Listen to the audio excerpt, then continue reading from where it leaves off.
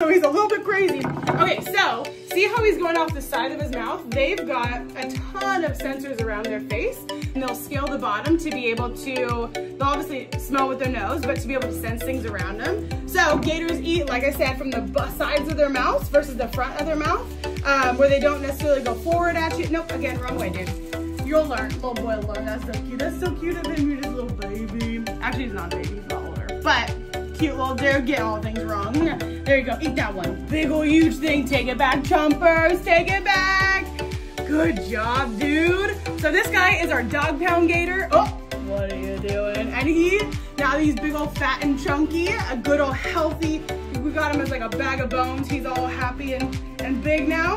He's a little bit feisty. He's a little bit feisty, huh, dude? Aren't ya? You got it? Oh, you're kind of going over the side. I don't want you to bite me. He almost tried to swipe at me earlier. Can you believe it?